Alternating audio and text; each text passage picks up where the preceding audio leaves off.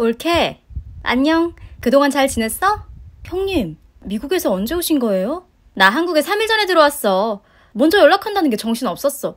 아, 아직도 시차 적응이 안 되네. 진짜요? 아무도 말을 안 해줘서 몰랐어요.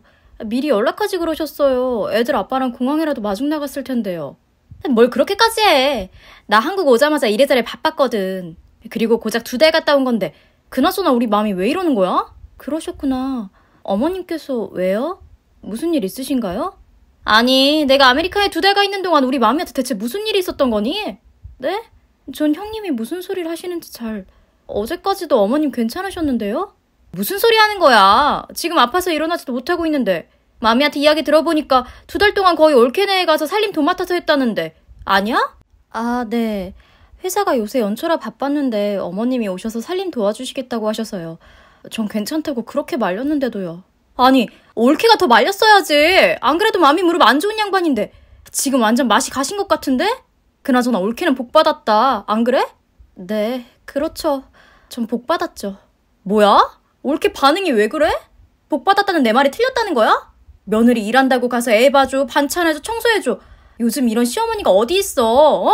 당신 몸 망가지시면서 살림해주는 시어머니가 고마워야 하는 거 아니야? 네, 너무 감사하죠. 형님 말이 다 맞아요. 그런데 어머님 무릎 많이 안 좋으세요? 진짜 그렇다니까? 지금 마음이 앓는 소리하고 난리가 났어.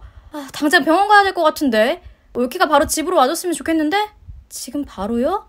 이번 주 야간 근무여서 지금 퇴근해서 집에 왔어요. 뭐? 이번 주 야간 근무라고? 아, 정말 할 말이 없네. 네. 혹시 지금 형님 바쁘세요?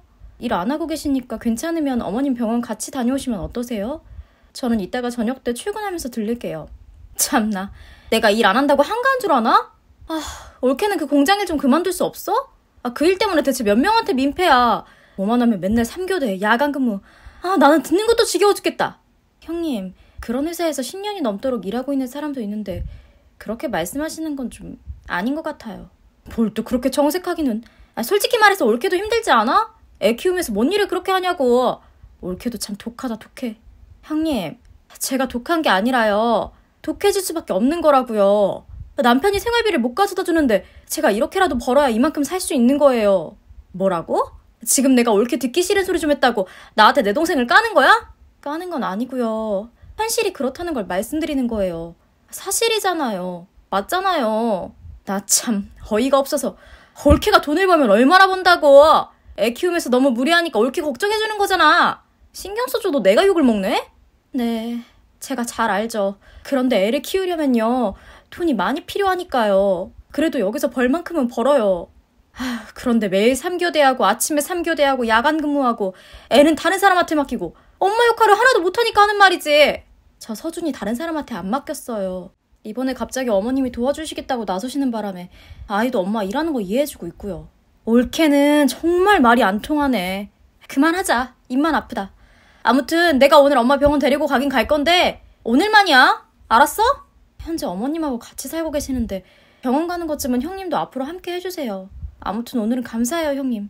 아주 병 주고 약 주고 올케는 진짜 얄미워 죽겠다니까? 아무튼 우리 맘이 일 좀 그만 시켜. 다 올케 때문인 것만 알아. 알겠습니다. 그렇게 알고 있을게요. 한마디를 안 져요. 병원 다녀와서 연락할게. 형님 한국 들어온 거 알고 있었어? 나만 몰랐던 거야? 나도 어제 엄마한테 들었어. 한국 들어오자마자 또 밖으로 싸돌아다니느라 집에도 안 들어왔다던데? 형님 언제까지 이러고 살 거래? 철 들려면 아직 멀었네, 멀었어. 또 왜? 무슨 일 있었어? 아침부터 형님한테 연락이 왔거든? 어머님 무릎 아픈 걸로 나를 엄청나게 잡는 거 있지? 그게 다 누구 때문인지도 모르고. 아휴, 누나한테 왜 그러는 거야? 형님이 대학 졸업하고 공무원 준비만 5년 했다고 했나? 응, 그때 엄마가 고생 많이 했지. 고시생 뒷바라지 하시라. 5년이면 합격했어야 하는 거 아니야? 아니면 취직이라도 하든가. 취직도 안 하고 이래저래 놀다가 나이 36살에 갑자기 뜬금없이 어학연수 보내달라고? 경호가 안 돼서 취직이 안 된다나. 나 그때 진짜 어이가 없어서. 내가 생각해도 정말 한심했지. 그때도 돈 없어서 어머님이 남의 집 식모살이 한 돈으로 어학연수 보내준 거 아니냐고. 근데 형님 이 사실 알아 몰라? 엄마가 말하지 말라고 해서 모르지.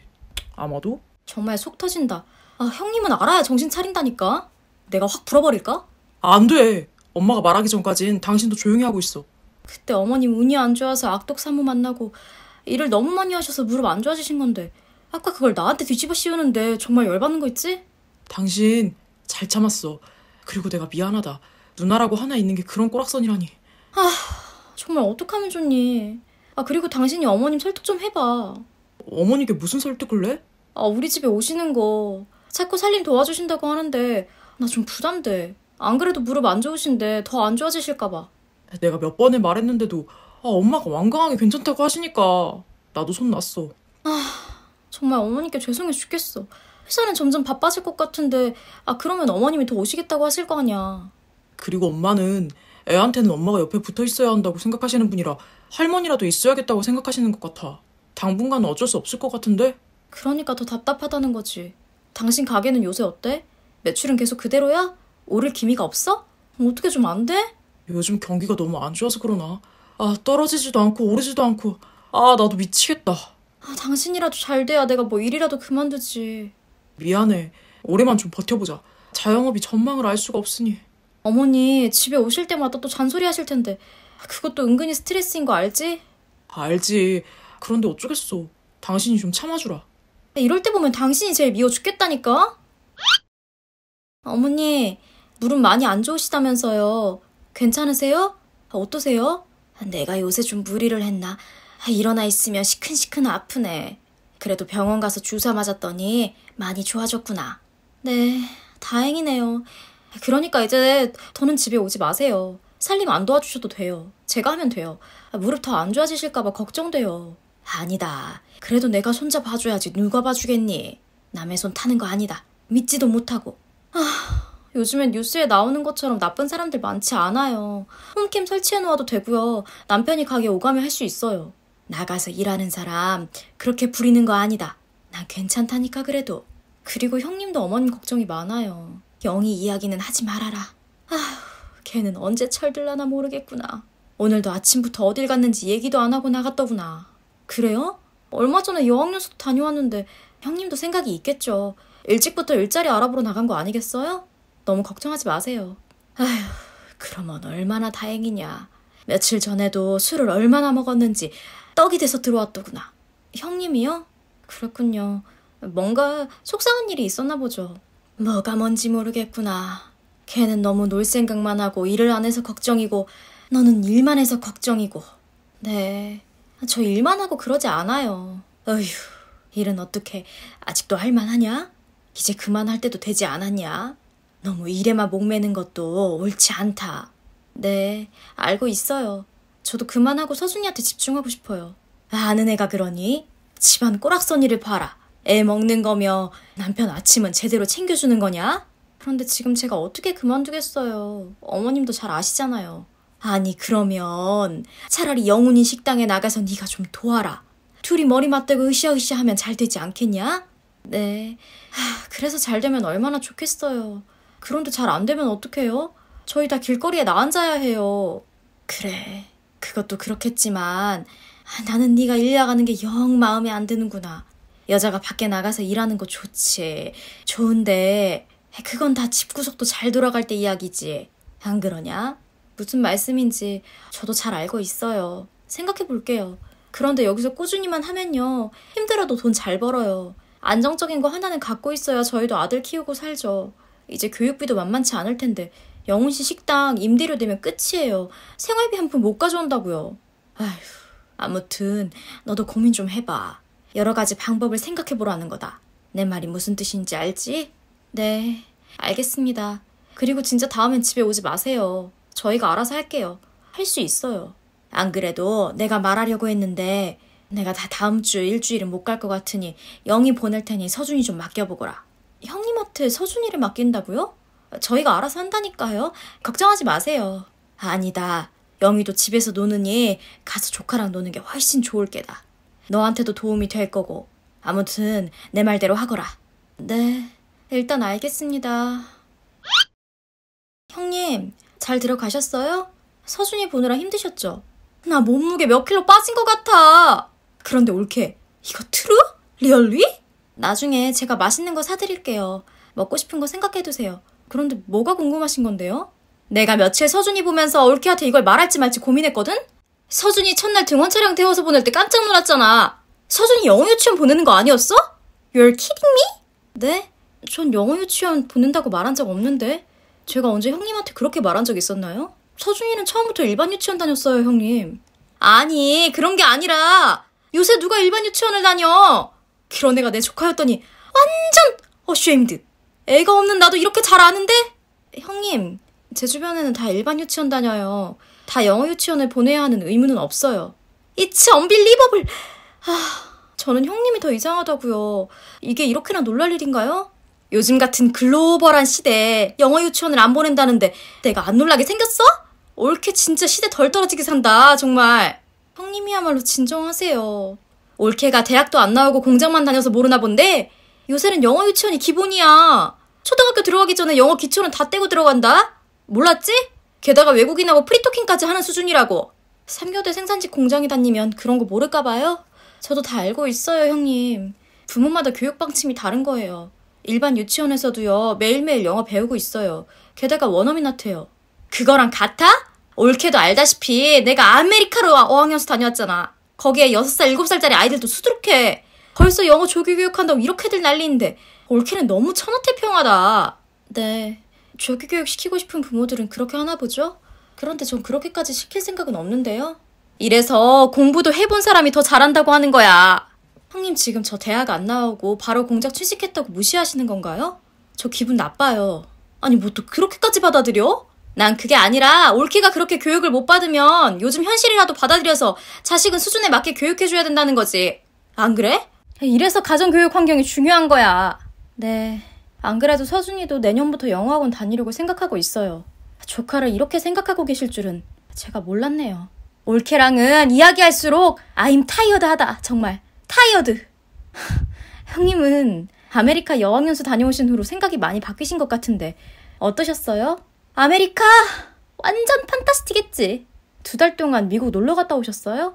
제 이야기는 영어 많이 늘었냐고 묻는 거잖아요. 뭐 뭐? 아, 내 이야기를 끝까지 들어봐.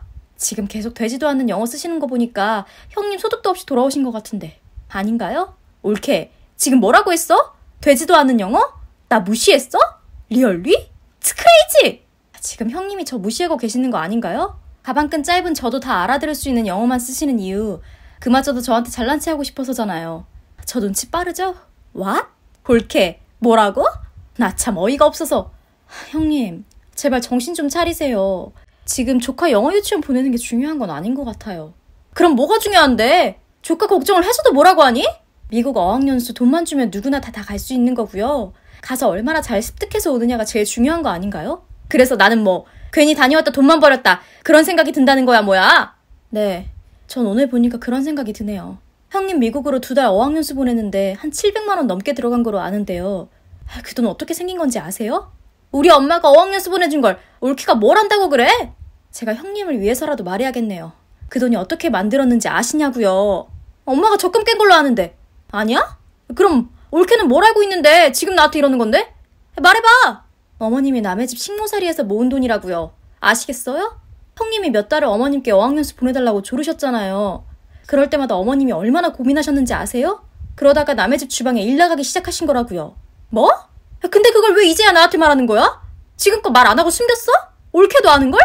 어머님이 형님한테 말하지 말라고 하셔서요. 어머님은 형님을 마지막으로 믿어보신 거겠죠.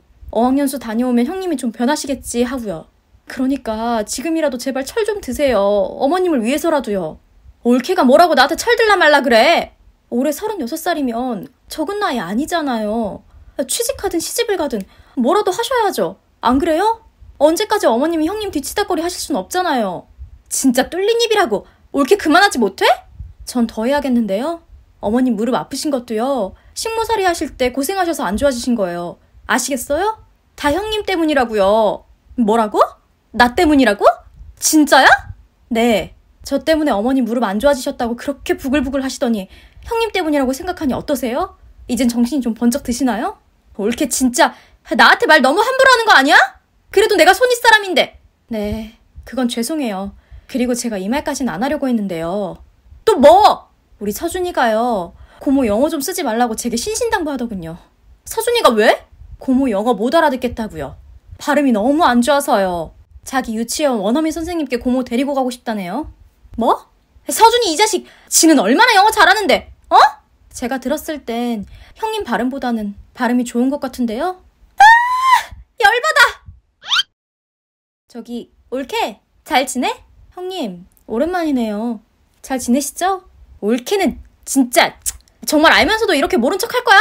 제가 뭘요? 아, 몰라. 어머님 병원은 잘 데리고 다니시는 거죠? 그래. 그나저나 나 할 말 있어서. 무슨 말이요? 형님이 할 말 있다고 하면 겁부터 나요. 나 일 그만뒀어. 왜요?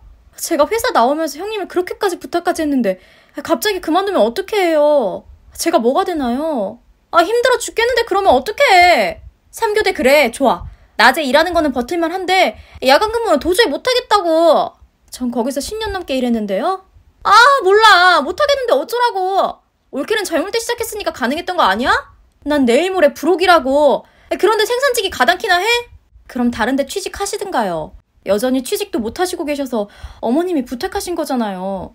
그럼 앞으로 뭐하고 사시려고요? 하, 형님은 정말 배가 부르셨네요.